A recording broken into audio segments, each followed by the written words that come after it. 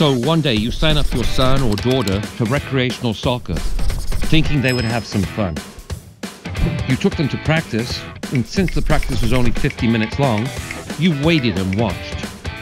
As you watched the practice, you saw some high school student showing the players some foot skills, kicks, and passing technique. This looks so difficult to do. Looking out the kitchen window, you watch your player try and try the moves, getting nowhere. You search on your phone for Soccer Skills app 3D and see the MOTI app. You download the free trial and hand it to your player. Almost immediate success. The ball and footwork match up and you see the improvement. Welcome to the MOTI Sports one player soccer training platform.